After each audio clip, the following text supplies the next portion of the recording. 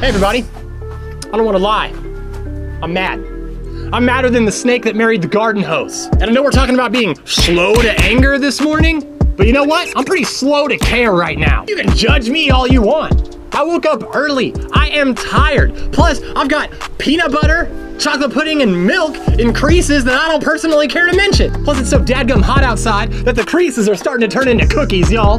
I just wanted to say, I hope y'all are doing a lot better at being quick to listen, slow to speak, and slow to become angry because I am not! I am madder than a puffed toad right now, and I have had it! Fortunately, I fired Josh.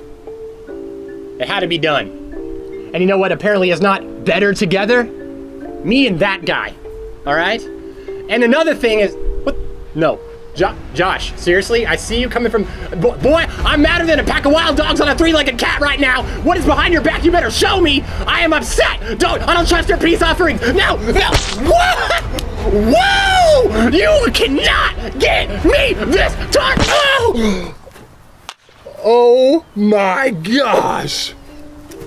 There was a second cake! Well,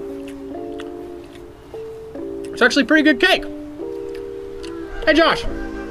Yeah, why don't you come over here and enjoy some of this delicious cake with me? Thanks, man. Yeah. Hey, thanks. You know, no matter what, we really are better together. Oh, yeah. Good frosting. Who's gonna clean this up? Hey, come back here.